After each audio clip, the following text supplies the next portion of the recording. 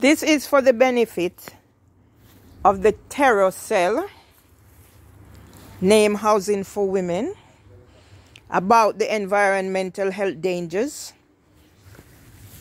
after the hurricane, for which a stupid black girl, double ugly, came, visited with Candy Simit from Adult Social Care on the 20th to have a meeting. I showed her everything.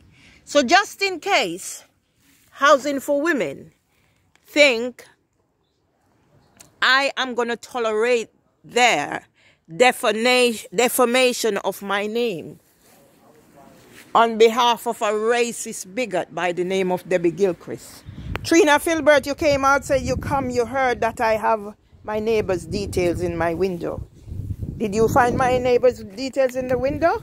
So this is the danger I'm living in, people. Be very careful of these nails. I am diabetic. I am diabetic. I cannot cut the grass or do anything because of the situation as it is. That's the gate over there. Four times. MP, MCP came out, and this is how I am still living. Over to you, Housing for Women. Samantha Gibbs, you're a terrorist. The one from Housing, Giovanni, all of them. Trina Filbert, I'm calling your names. You set up my neighbor to do what she's done. She's a good woman. Probably racist, but there's a racist in all of us. Probably a bigot but there's a bigot in all of us. It's how you deal with situation.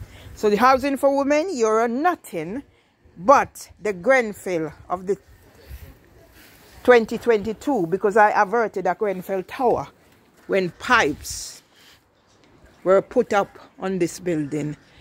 You think me done yet? Wait for me a housing for women.